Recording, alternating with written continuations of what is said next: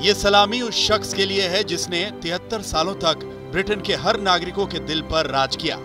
ये सलामी उस शख्स के लिए है जिसकी मौत के बाद लंदन में श्रद्धांजलि देने वालों का तांता लग गया।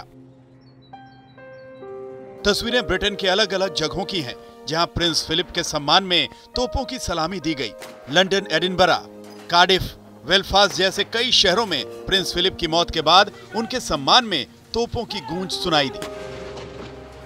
ऐसा नहीं है कि इस तरह की सलामी प्रिंस फिलिप को सिर्फ़ उनके ही देश में दी गई, बल्कि कभी ब्रिटिश शासन के गवाह रहे, ऑस्ट्रेलिया की धरती पर भी उन्हें सम्मान देते हुए 41 तोपों की सलामी दी गई।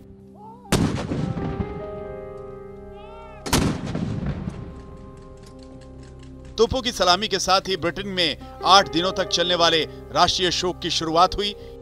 इस दौरान पूरे ब्रिटेन के हर सरकारी इमारतों पर लगे झंडे झुका दिए गए। एक तरफ़ जहाँ पूरे ब्रिटेन में तोपों की सलामी दी जा रही थी, वहीं प्रिंस फिलिप के आधिकारिक निवास विंडसर कैसल के बाहर आम लोगों ने अपने अपने तरीके से श्रद्धांजलि दी। किसी ने कैसल की दीवार के बाहर फूल रखे तो किसी ने खत।